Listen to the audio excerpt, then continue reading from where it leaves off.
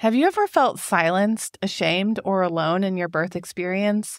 Do you long to reclaim your story and find healing in a supportive community? In this special episode of the Golden Hour Birth podcast, we're diving into the transformative power of communicating and sharing your birth story. Join us as we explore the benefits of opening up, strategies of effective communication, and the importance of finding validation and support. Get ready to take the first step in reclaiming your birth story and discovering the strength within you to heal and thrive. And stay tuned until the end, where we'll share a real life story of a mom who found empowerment and peace by sharing her birth experience. The Golden Hour Birth Podcast, a podcast about real birth stories and creating connections through our shared experiences. Childbirth isn't just about the child, it's about the person who gave birth, their lives, their wisdom, and their empowerment. We're Liz and Natalie the Golden Hour Birth Podcast, and we're here to laugh with you, cry with you, and hold space for you. Welcome to a special episode of the Golden Hour Birth Podcast. I am your co host, Liz. And I'm Natalie. In this series, we're going to give you an exclusive look into our upcoming course, Reclaim Your Birth Story Finding Peace and Healing. Today, we're going to focus on Module 4 Communicating and Sharing Your Birth Story. Sharing your birth story can be a powerful tool for healing and finding support. In Module 4, we explore the benefits of sharing, strategies for effective communication with loved ones, and finding validation through connecting with others who are trying to make sense of their births too. Let's start by discussing the transformative effects of sharing your story. With a supportive community, opening up with your experience allows us to release pent up emotions and fears also anxieties associated with your birth. It provides an opportunity to give voice to your feelings and have them witnessed and validated by others who have gone through similar experiences. Sharing your story can also help you gain new perspectives. Hearing other stories and insights can help you view your own experience from different angles, which we've seen from our own podcast. And it allows, you know, people to find meaning and understanding. It's a powerful reminder that you're not alone in your journey. That is so true. In a supportive community like ours, you can find the comfort and validation that you've been searching for. Um, others who experience some trauma can relate to your feelings and struggles and triumphs and provide you a safe space where you can be heard and understood. Their empathy and support is instrumental in your healing process. So, in Module 4, we also do some practical strategies um, for communicating about your birth experience with your loved ones. It's essential to approach these conversations with clarity, assertiveness, and empathy, which can be pretty difficult. One key strategy is to choose the right time and place for the conversation and um, make sure you have a quiet and comfortable setting for a discussion that won't be interrupted by kids or husbands or crying babies. Another important aspect is to really clearly express your feelings and needs and then your expectations as well.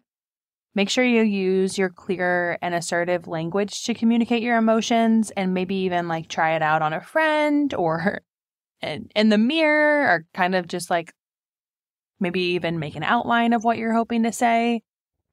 Just finding that support from your loved ones is very helpful. And then to make sure you use I statements to share your perspectives without sounding too confrontational or accusatory or blaming. Just keep it to I statements. Definitely. You don't want to make your loved one feel like you're blaming them. Mm-hmm. Like you weren't there for me or something like that, mm-hmm. saying mm-hmm. things like, I felt this or I remember feeling like this, things mm-hmm. like that. So, um, also you don't want to forget the importance of active listening. So giving, you know, them, your loved ones an opportunity to express their thoughts and emotions, um, practicing being fully present, validating their experience and showing empathy. If the conversation becomes too challenging or emotional, um, we definitely recommend seeking professional help from a therapist or mediator. Um, you if you already have a therapist, you can always ask them if you can bring um, your husband or your mm-hmm. parent or whoever you want to have that conversation with. Yeah. That's great advice. In module four, we're also going to emphasize the importance of finding validation and support from others who have experienced maybe um, similar kind of birth experiences or even trying to make sense of their birth experience. So, connecting with individuals who truly understand your emotions and your fears and your challenges can, of course, validate those experiences and um, create just more of a safe space to express your thoughts and feelings. There are a lot of different ways to uh, find a group. There are support groups, online communities, and even counseling services that are specifically focused on birthing experiences. Mm-hmm. Um, they don't always aren't always focused on a traumatic birth. Um, I know that there are some groups that we even know um, who the people who you know have them and they're for let's say moms you know who are postpartum six to nine months or something like that so there's definitely lots of groups um, to find connection and understanding with mm-hmm. and are, you know hopefully these spaces can offer a non-judgmental environment um, that's what we strive for here at mm-hmm. our podcast is just um, letting our guests and friends share their experiences um, and then these support groups where you know you can listen to other stories and receive empathy and support when seeking support just make sure that the community um, or the counseling services just align with your needs and values because some needs may be different from like four months to nine months. So just kind of what you're needing in that moment. Look for the spaces that really prioritize empathy and respect and confidentiality. Obviously, those are important aspects and just making sure that you feel heard and supported. Um, and then engage in regular interactions or however you feel comfortable in the engagement part. Um, and then that way, that more validation and more support and a renewed sense of strength and resilient, resilience can just continue to build um, when you're communicating and just working through these feelings. Mm-hmm. That's a good point about um, aligning your needs and values because I've seen lots of groups, um, not lots of groups, but various groups, like for LGBTQIA plus communities, persons of color, mm-hmm. religious groups. So there's definitely communities for everyone. So, yeah, so to put this into practice, we encourage you to take the initiative, research local online support groups um, to find groups that you might want to join and take the first step by joining a group or reaching out to individuals who have a shared similar experiences. I also know that there's groups for specific birth traumas too, an AFE group, um, specifically um, C-section groups, things like that. So uterus eruption. Mm-hmm.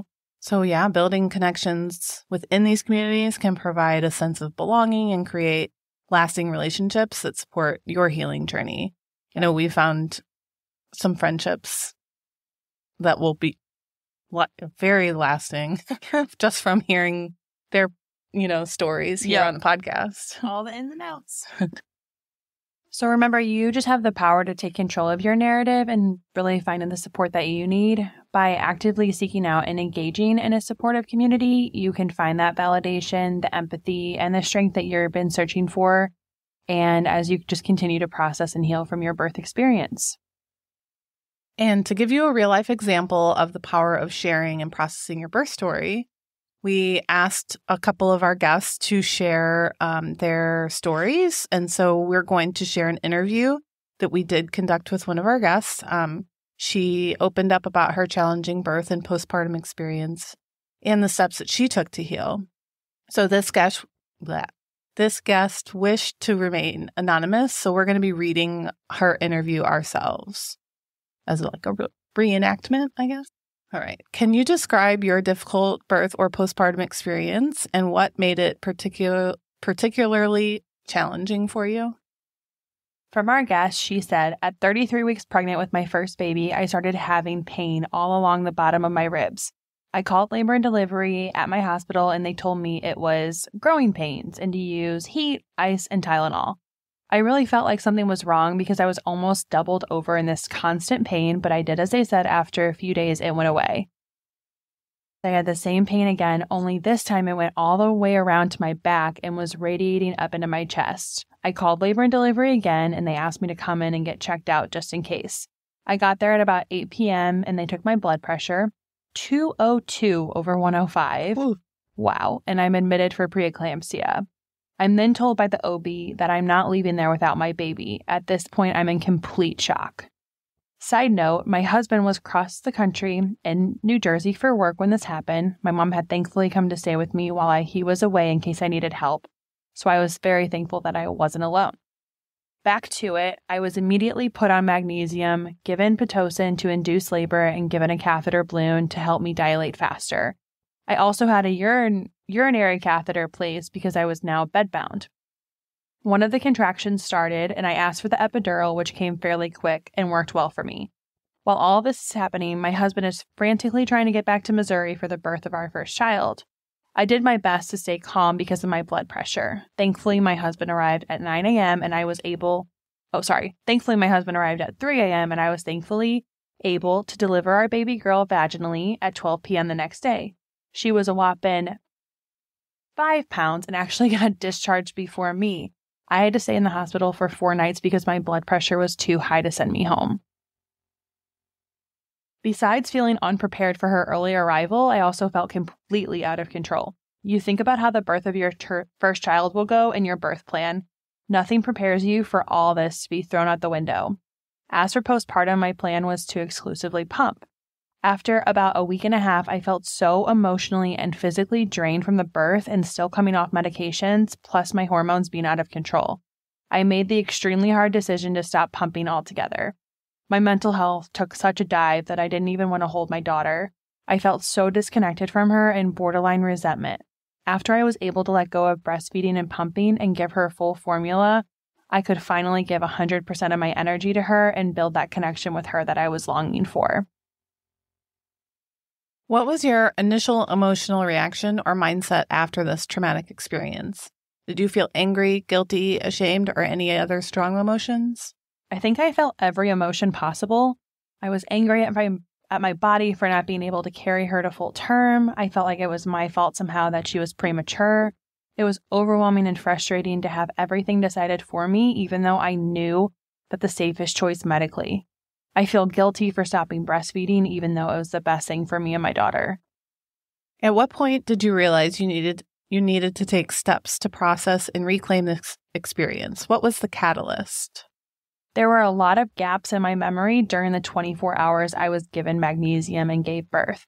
This probably continued a lot out of my emotional surroundings and experiences. I think the more I talk through the events with my family, the more I realize that there that there was, so I realized that it was more helpful in reclaiming the experience. And what specific actions did you take to start healing from this trauma? I received a lot of support from my family and friends. Although I never did pursue therapy, I believe talking through the experience often early on, mostly with my husband and my mom, allowed me to slowly hear, heal mentally. What mindset shifts or um, changes in perspective were most crucial in your journey to reclaiming your story? I frequently had to remind myself that being induced and delivering early was out of my control. And although I could not control or change how the events happened, I advocated for myself whenever I could and always did the best for myself and my daughter at the time. Also, I was really hard on, hard on myself to stop breastfeeding. I felt like I wasn't making the best decision for my baby and I was just being selfish. But I was exclusively pumping. I felt like I could never connect or hold my baby. I never even wanted to hold her because I knew I had to give her back to someone else so I can go pump again. The minute I decided to start to feel a hint of resentment towards my baby, I knew that I had to change something. No more guilt. Fed is best. So baby girl switched to formula and we've never looked back. She is a beautiful, healthy baby who is thriving. How did you work through any negative self talk, guilt, or self blame related to what happened to you? My mom and my husband were my rocks. I thank God I had such wonderful people to lean on after the birth of our daughter. It felt like almost every day we were talking through something that had happened. Anytime I would talk about feeling guilty or speak negatively about myself, they were always there to validate my feelings and then provide support. I am so very blessed. What was the hardest part of this reclamation process for you? And how did you overcome that? The hardest part was letting go of the guilt. I had to allow myself to let go of the feeling of guilt in order to be a mother for my daughter. Talking was the best therapy for me. The more I talked about it, the more I was able to let go. Hmm. How do you feel now when you recall your birth or postpartum experience compared to how you felt initially? I feel so much more empowered, especially while writing this now. I'm hopeful that my experience might help another mama feel validated if they had something similar happen. What advice would you give to others struggling with difficult um, birth trauma based on your own journey? Don't keep your thoughts and your feelings related to birth or postpartum to yourself. Talk to a family member, a friend, a therapist, a pet, a pastor, whoever. Just getting it out was so freeing for me and allowed me to feel the empowerment and validation. Also, I feel like some guilt about saying my birth experience was traumatic. I don't know why that word to me feels like you have to meet a certain standard in order to call it traumatic, almost like if it wasn't a true near death experience when I can't call it that. So I often find myself revalidating the fact that this was a traumatic experience for me it doesn't matter if someone else thinks it was, my feelings are justified. And the same goes for every other person out there questioning whether or not they had a true traumatic experience. If it caused you to feel out of control or stress or scared, depressed, etc., I believe you had a traumatic experience. Amen. How has reclaiming this experience changed you or your outlook on life and birth? I don't really care what anyone else thinks about my birth postpartum experience anymore. I was so embarrassed about how the birth happened and my choices postpartum. But I look at my daughter and I know so and I know that she is strong and healthy and has a mama who is 110% there to support her physically and emotionally. That was very powerful. Great story of resilience and healing. So, thank you to our guest for sharing her journey with us.